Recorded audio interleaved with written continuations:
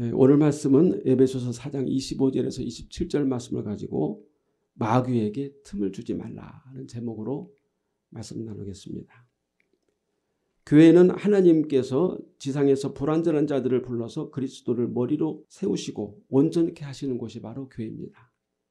지상교회는 완벽하지 않으므로 처음부터 많은 문제점을 가지고 출발합니다.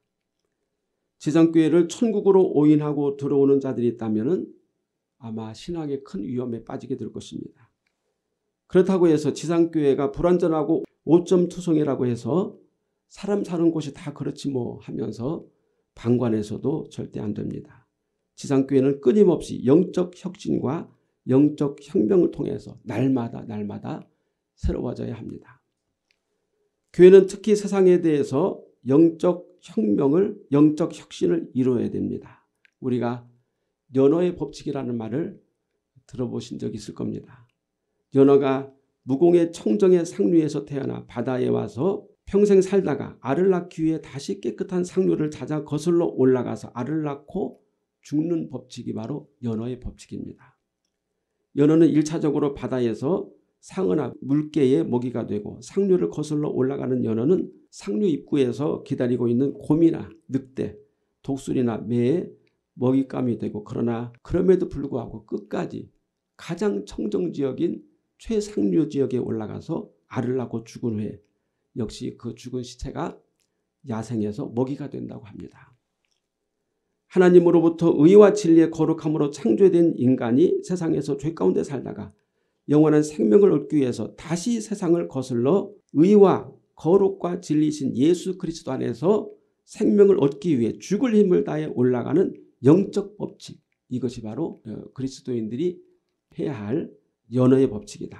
그래서 교회는 연어의 법칙을 가지고 평생을 살아야 합니다. 연어의 법칙은 세상의 유행과 흐름에 대해서 거슬러 올라가 하나님의 거룩함을 되찾기 위해서 우리 성도들이 해야 하는 위대한 영적 혁신입니다.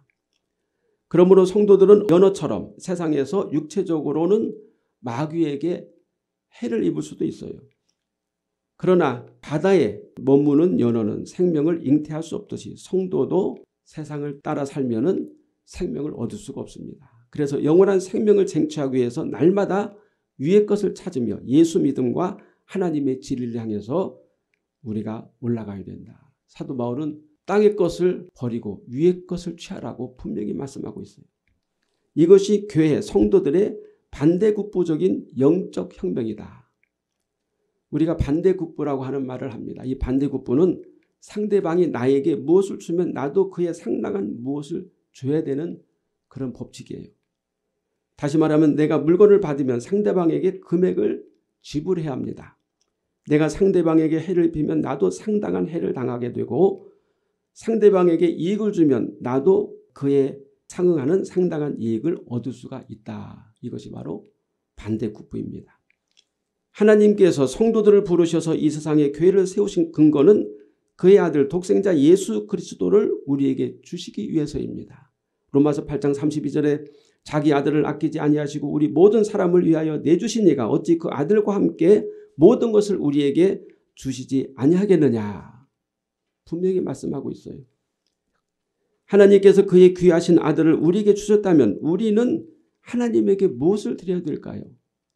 하나님이 그렇게 고귀하신 예수 그리스도를 십자가에서 우리에게 주셨는데 우리는 그에 상당한 무엇인가를 드려야 됩니다. 하나님이 우리에게 가장 귀한 그리스도를 주셨다면 우리는 그리스도의 가치에 합당한 그 무엇을 드려야 된다. 그리스도의 가치와 맞먹는 그런 그 소중한 것을 드려야 돼요. 바울은 하나님께서 우리에게 주신 예수 그리스도에게 합당한 우리가 하나님 앞에 드려야 될 반대 국부가 있다고 말하고 있어요. 우리는 그리스도를 받은 대신 무엇을 드려야 됩니까? 우리의 거룩함을 하나님께 내어드리는 것입니다. 우리의 거룩함만이 예수 그리스도의 가치와 상하는 값이 되는 것입니다. 바울은 하나님께서 우리에게 주신 그리스도의 교회를 세우기 위해서 더러움을 버리고 거룩함을 가지라 이렇게 말씀을 했어요. 거룩함은 하나님께서 우리를 위해서 그리스도를 주신 구원에 대한 가장 합당하고 적합한 최고의 가치입니다. 물론 교회는 헌금도 필요하고 헌신과 봉사도 필요하고 여러 가지 것들이 필요합니다. 그런데 그것만으로는 결코 그리스도의 가치를 대신할 수가 없습니다. 우리의 헌신 속에 우리의 봉사 속에는 반드시 세속을 버리고 거룩함이라고 하는 알맹이가 있어야 됩니다. 우리의 헌신과 우리의 봉사 속에 거룩함이라고 하는 알맹이가 없다면 껍데기에 불과해요. 그래야지만 영원한 생명이신 그리스도와 우리가 함께 늘 그리고 영원히 할 수 있기 때문입니다. 그러므로 교회와 성도는 날마다 연어처럼 거슬러 올라가는 영적 혁신을 해 나가야 합니다. 이것을 사도 바울은 이렇게 고백하고 있습니다. 고린도서 4장 16절에 그러므로 우리가 낙심하지 아니하노니 우리의 겉사람은 낡아지나 우리의 속사람은 날로 새로워지도다. 날로 새로워지도다. 이 날로 새로워진다는 것이 날마다 영적 혁신, 우리 안에서 영적 혁명을 일으켜야 된다는 말씀이에요. 25절 말씀에 보니까 그러므로라고 말씀하고 있는데 여기서 그러므로는 바울이 앞에서 진술한 진리이신 예수 그리스도를 너희가 진정으로 배우고 믿고 따른다면 그렇다면 옛사람을 벗어버리고 새 사람을 입어라. 너희가 진정으로 예수 그리스도를 믿고 그분을 따른다면 옛사람을 벗어버리고 새 사람을 입어야 된다. 이렇게 강조하고 있어요. 그래서 에베소서 4장 25절부터는 복음의 진리에 대한 실천적인 삶을 계속 나열하고 있습니다. 그래서 오늘은 바울이 거룩함을 위해서 버려야 할 세 가지를 우리가 이제 보고자 합니다. 그 세 가지는 거짓과 분과 도적질이다. 그런 즉 거짓을 버리고 바울은 제일 먼저 거짓을 버리라고 명하고 있어요. 그리스도 복음의 진리를 에베소 성도들이 받아들였다면 당연히 거짓을 버려야 된다. 거짓은 하나님을 대적하고 진리를 거부하는 가장 강력한 사탄의 무기입니다. 거짓은 진짜에 대해서 가짜라고 말하죠. 근데 우리는 가짜를 뭐라고 또 요즘에 말합니까? 짝퉁이라고 그러죠. 예수님은 요한복음 8장 44절에서 마귀는 거짓을 말할 때마다 제 것으로 말하나니 마귀의 속성, 마귀의 가장 핵심적인 속성이 거짓이에요. 가짜예요. 왜 바울은 성도들이 가장 먼저 거짓을 버려야 한다고 했는가 하면 거짓은 마귀를 상징하는 대표적인 악이기 때문에 그렇습니다. 마귀가 하나님의 구속 역사에 있어서 매우 굵직한 두 개의 거짓말을 했어요. 첫 번째가 있고 마지막 것이 있습니다. 첫 번째는 태초의 에덴 동산에서 선악과 앞에서 뱀이 여자에게 던져준 최초의 유혹인데 뭐라고 그랬습니까? 네가 선악과를 먹는 날에는 눈이 밝아져서 하나님과 같이 될 것이다. 거짓말이죠. 이것은 우리가 너무나 잘 알고 있습니다. 마지막 유혹이 있어요. 마지막 마귀의 거짓말은 예수님께서 십자가에서 죽으시기 직전에 막 구원의 역사를 완성하시려는 순간 마귀는 조롱하는 사람들의 입을 통해서 이렇게 거짓말을 하고 있습니다. 마태복음 27장 42절에 보면 지금 십자가에서 내려올지어다 그리하면 우리가 믿겠노라 얼마나 극적인 상황입니까? 예수님이 진짜 하나님의 아들이라는 진가를 확실하게 보여줄 수 있는 상황이 바로 그때예요. 로마 군인이 이미 십자가에 매달았고 손과 발에 못을 박았어요. 또 옆구리에 창을 찔렀어요. 이제 거의 힘이 빠져서 예수님이 죽어가시는 그 순간에 하나님의 능력으로 그 십자가를 박차고 예수님이 완전한 몸으로 거기서 내려오신다면 그 이상 기적이 어디 있고 그 이상 역사가 어디 있습니까? 그래서 마귀는 사람들을 지켜서 그렇게 말했어요. 지금 십자가에서 내려와라. 그러면 당신이 메시아고 하나님의 아들인 것을 우리가 믿겠다고 그랬습니다. 이 말은 능력을 행해보라는 말입니다. 하나님의 구원을 십자가의 도가 아니라 기적과 능력의 역사로 탈바꿈하려는 마귀의 시도가 바로 마지막 유혹에서 있었다는 것입니다. 사탄은 그리스도의 보혈과 죄사함의 구원을 그저 기적이나 능력으로 만들어서 세상의 영웅으로 예수님을 전락시키려는 아주 사악한 거짓말을 마지막 순간에도 하고 있었다는 것입니다. 우리가 생각하기에는 예수님이 십자가에서 능력을 행하여 내려오시면 그보다 더 큰 기적과 능력이 어디 있겠는가? 그만한 증거가 어디 있겠는가 이렇게 생각합니다. 그래서 지금도 기적과 능력을 마치 하나님의 구원의 능력인 양 떠벌리면서 그리스도의 순환과 죽으심 그리고 성령의 거룩하게 하심을 약화시키려는 짝퉁 기독교인들이 많이 있다. 지난주에도 말씀드렸지만 병 고치고 귀신을 쫓아내고 방언을 말하는 능력은 그 능력 자체에 있는 게 아니에요. 오직 예수의 복음을 확실하게 전하도록 하기 위해서 하나님이 믿는 자에게 주시는 특별한 표적입니다. 그 목적이 있어요. 그런 역사들이 능력이 나타나는 목적이 있습니다. 그것 가지고 자랑하라고 주신 것이 절대 아니라는 말입니다. 능력이나 기적을 예수 십자가와 버금가게 자랑하거나 행하는 자들은 거짓 선지자들임을 우리 성도들은 분명히 분별해야 돼요. 거짓은 진짜가 아닌 가짜를 진짜처럼 말하고 생각하게 만드는 마귀의 아주 비상한 꿰임수입니다. 얼마나 많은 인류가 마귀의 거짓에 놀아나고 있습니까? 어떤 주석가는 이 세 가지 거짓에 대해서 말하고 있어요. 첫째는 기분 좋게 해주려는 거짓말입니다. 상대방을 기분 좋게 띄워주기 위해서. 이 정도는 할 수 있는 거 아닙니까? 타인의 기분을 맞추거나 타인에게 유익이 되도록 하는 거짓말인데 이거를 우리가 성경에서는 아첨꾼이라 그래요. 아첨.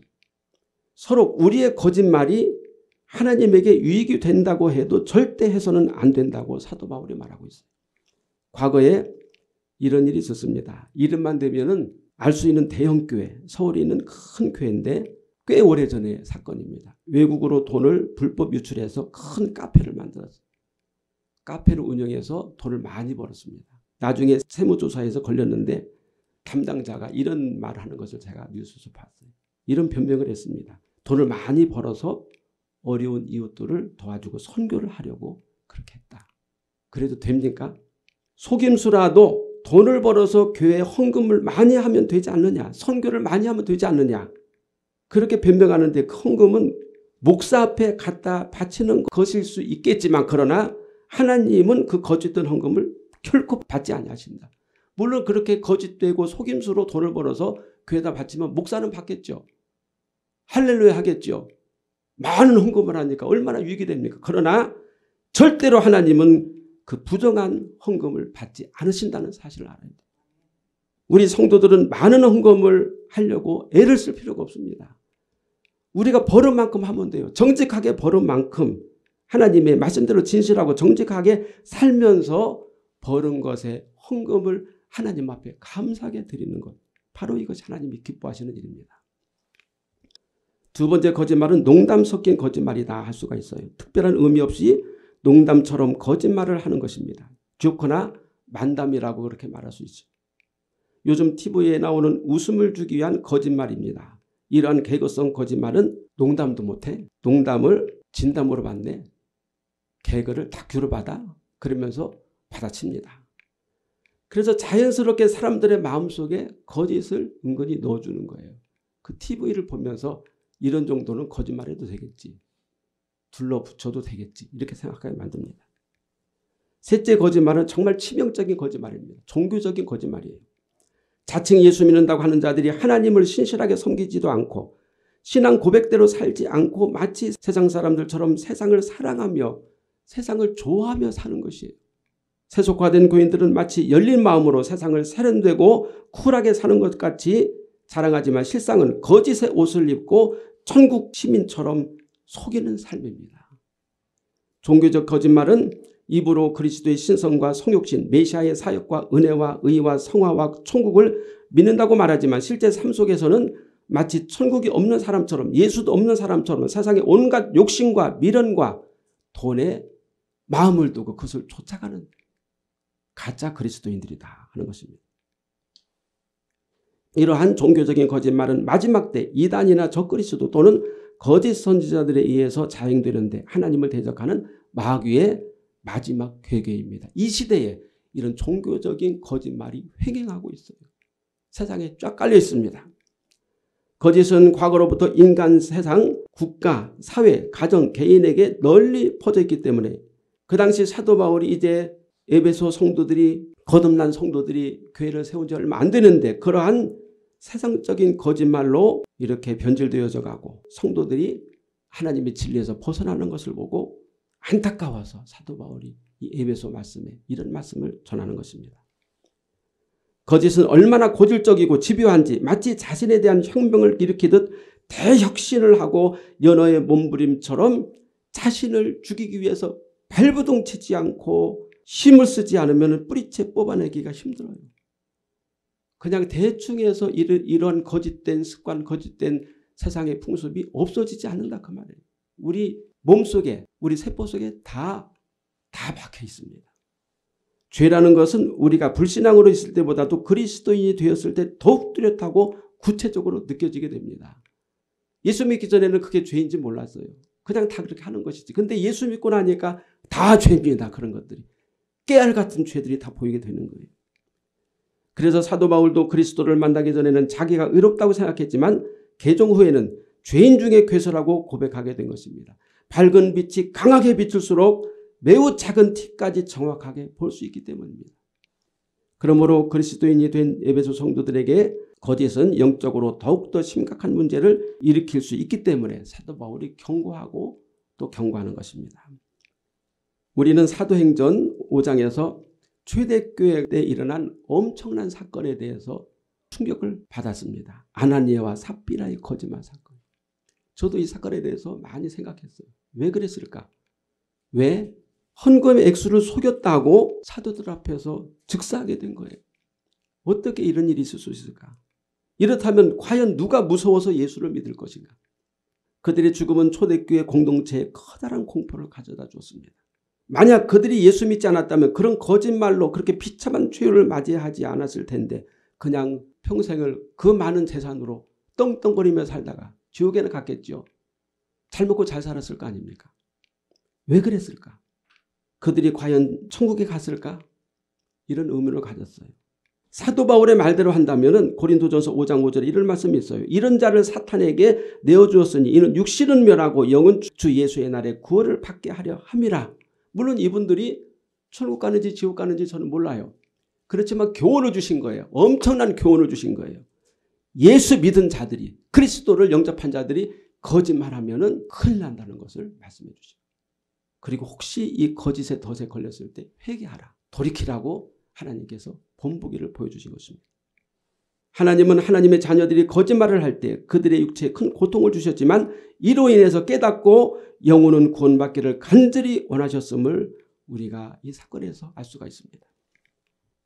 그리스도인이 된 후에 거짓말은 그리스도 공동체인 교회에 그만큼 큰 영향을 끼친다는 사실을 하나님께서 보여주신 사건이 바로 아나니아와 삽비라 사건이라 생각이 듭니다.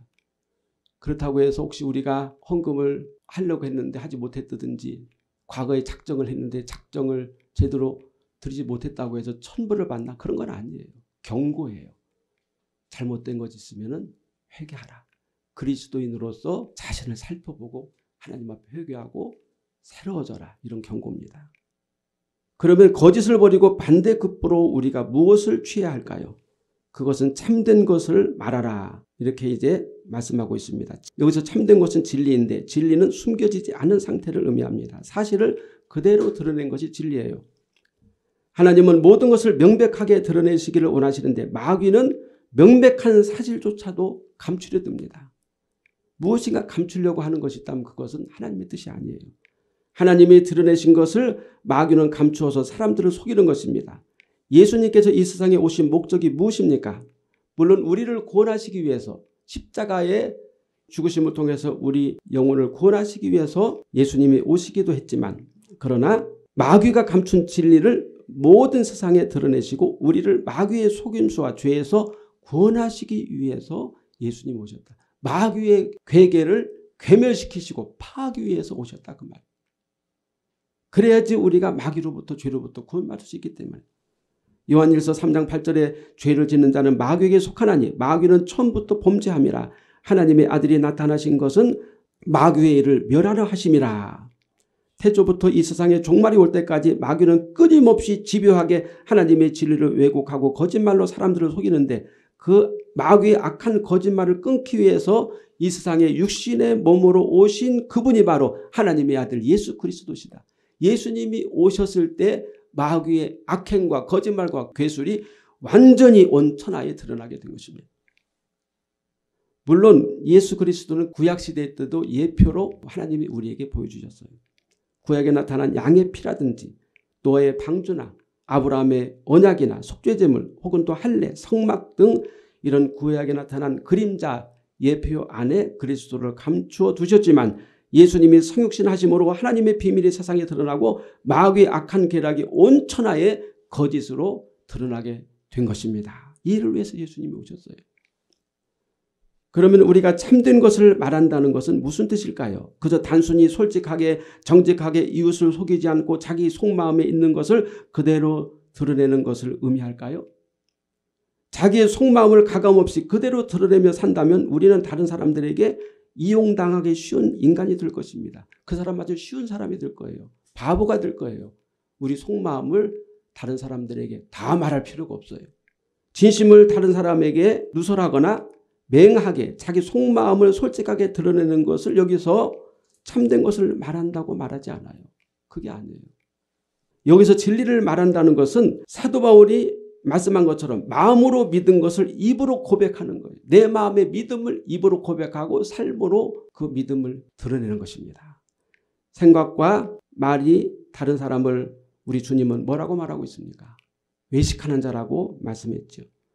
외식하는 사람들은 그 당시 유대교 율법주의자들인 바리새인들과 서기관들이 그 부류에 속합니다.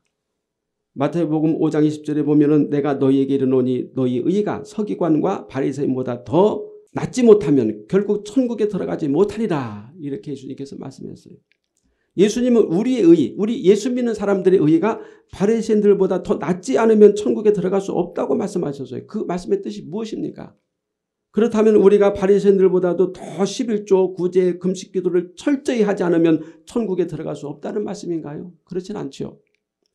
예수님 당시 바리새인들보다 더 철저히 율법과 계명을 지킨 자들이 없었어요. 그들은 천국에 가기 위해서 날마다 율법의 짐을 등에 지고 다녔는데 그 짐이 얼마나 무거운지 바리새인들의 별명은 허리가 굽은 사람들입니다. 그 무거운 율법의 짐을 지고 날마다 날마다 그렇게 율법을 지키기 위해서 어깨를 숙이고 허리를 구부리고 다녔다고 합니다. 그런데 우리가 어떻게 율법으로 바리새인보다 나을 수 있을까요? 예수님의 이 말씀은 무슨 뜻입니까? 율법의 짐을 지라는 뜻이 아니고 외식하지 마라. 외식하지 말라. 오히려 예수님은 세리나 창기가 천국에 들어가기가 더 쉽다고 말씀했어요. 왜 그렇습니까? 그들은 죄를 죄라고 시인하고 안 한 것은 저 안 했습니다라고 고백했기 때문이에요. 물론 나 죄 졌어. 나 율법 같은 거 몰라. 그래서 뭐 어쩌라고. 냅둬 나는 내 마음대로 살다가 지옥 갈 거야. 만약에 그렇다면 그렇게 말한다면 그 사람은 바레신들보다도 더 악한 자들일 것입니다. 그러나 예수님이 칭찬한 세리나 창기는 그런 종류의 사람이 아니에요. 자신의 죄를 인정하고 가슴을 치면서 회개하고 감히 고개를 들어 성전조차도 바라보지 못하면서 나를 불쌍히 여겨 주시옵소서 통회하는 심령을 가진 겸손하고 정말 불쌍한 세리와 창기였다는 것입니다. 이것이 다윗의 고백이기도 합니다. 시편 51편 17절에 하나님께서 구하시는 제사는 상한 심령이라 하나님이여 상하고 통회하는 마음을 주께서 멸시하지 아니하시리다. 주님은 이러한 심령을 사랑하시고 은혜를 베푸시는 줄로 믿습니다. 바울은 거짓과 더불어서 29절에 더러운 말을 입 밖에도 내지 말라 그렇게 말씀했어요. 더러운 말이라는 것은 어떤 종류일까요? 음담패설이나 상황에 맞지 않은 부적절한 말, 가볍고 허풍 떠는 말들입니다. 가벼운 성적 농담을 말하죠. 그런데 지금은 이런 것들이 성추행의 범죄에 들어갑니다. 이 모든 것이 참되지 않고 거짓에 속하는 말들입니다. 거짓이 적절히 감미된 농담들은 TV 속에서 흔히 나오지만 교회 공동체에서는 우리가 조심해야 된다 하는 거예요. 마귀는 사람이 말을 너무 진지하고 솔직하게 말하면 재미가 없으니까 적당히 거짓말도 섞어서 감칠나게 해야 듣는 귀가 재밌다 이렇게 사람들의 마음속에 속삭입니다. 그래서 요즘은 개그 설교를 좋아하는 성도들이 많은 것 같아요. 개그 설교 하시는 들어보면은 결론이 그거예요. 아니면 말고. 아니면 말고를 왜 전해요? 목회다가. 그렇잖아요. 바울은 그리스도인들은 선한 말을 하여 덕을 세우고 듣는 이에게 은혜를 끼치라고 했습니다. 여기서 선한 말, 선한이라고 하는 단어는 헬라어로 아가도스인데 아가도스는 바울 당시 그리스 철학자들에게 최고의 단어입니다. 지고선, 최고의 선으로 이해되어지는 단어예요. 그래서 철학자들은 지고선을 완전한 행복이라고 말합니다. 여기서 철학자들이 말하는 행복은 잘 먹고 잘 놀고 쾌락을 즐기는 육신적인 것이 아니에요. 그렇게 착각하면 안 됩니다. 철학자들은 고상한 사람들이에요. 그래서 자신의 직업을 통해 완전한 삶을 구현하는 것이 여기서 지고선이고 또 자기 직업을 통해서 다른 사람들을 행복하게 해주고 자신도 행복해지는 것. 그것이 바로 지고선이다. 이것이 인간의 참 행복이다. 이렇게 말하고 있습니다. 우리가 가장 좋은 직업은 뭐라고 그럽니까? 즐기면서 할 수 있는 일이라고 그러죠. 도대체 즐기면서 할 수 있는 일이 몇 가지나 되겠어요. 솔직히. 일이라는 거 다 힘듭니다. 하기 싫어요. 그냥 막 놀고 싶어요. 철학자들의 의도는 정말 좋지만 현실적으로는 실현 불가능한 이데아에 것입니다.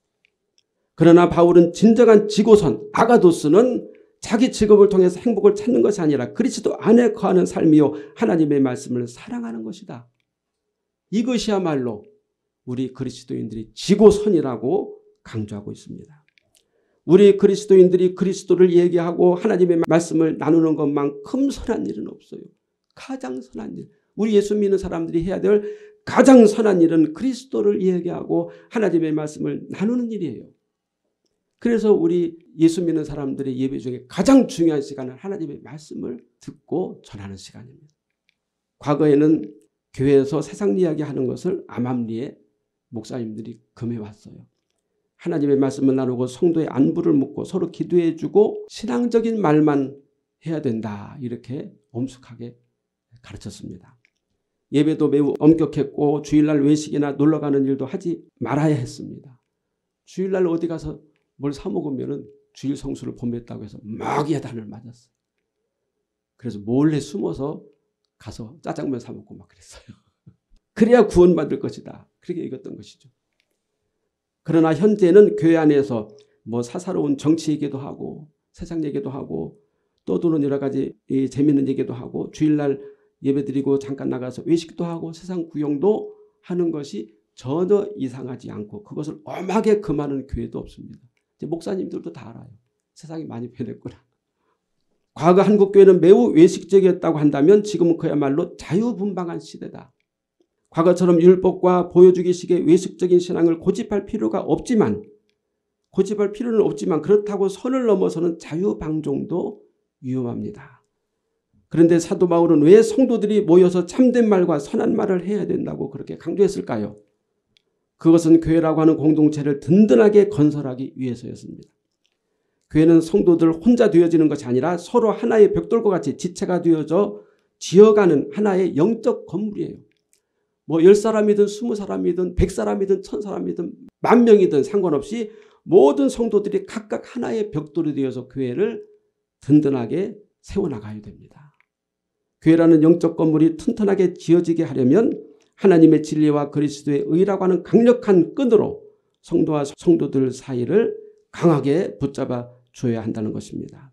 만일 시멘트 대신 건물을 짓는데 모래를 사용한다면 그 건물은 얼마 못 가서 다 무너져 버리고 말 것입니다. 마찬가지로 교회 안에서 성도들 사이에서 세상의 거짓과 헛된 말이 횡행한다면 그 교회는 쉽게 마귀의 속임수인 세속주의 그리고 이제 세속의 물결에 무너져 버리고 말 것입니다. 반대로 진리인 하나님의 말씀과 지고선이 되시는 그리스도로 성도들이 결속된다면 마귀가 어떤 공격을 해도 영원히 무너지지 않는 하늘의 난공불락 요새가 될 줄로 믿습니다. 우린 이 교회를 세우기 위해서 이렇게 모인 거예요. 사도 바울은 교회 공동체가 모래성같이 쉽게 부서지고 무너지는 세속적인 지식과 유행을 버리고 예수 믿음과 하나님의 말씀으로 무장을 해야 한다고 말씀하고 있는데 그 이유는 교회를 든든히 견고히 영원히 세워서 주님께서 다시 오실 때 우리는 어떻게 됩니까?